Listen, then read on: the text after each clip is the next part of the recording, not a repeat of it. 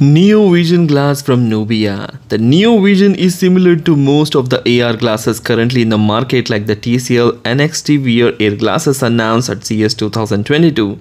It integrates the display screen through multi-layer lenses making it possible to display the content without blocking the line of sight.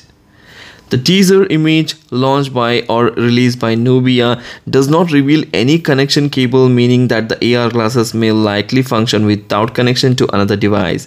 It is also possible that the device will adopt wireless connectivity and may even support wired connectivity. According to the poster, the launch event will hold at 3 pm on February 28th and this is the time when ZTE releases its new AR glasses.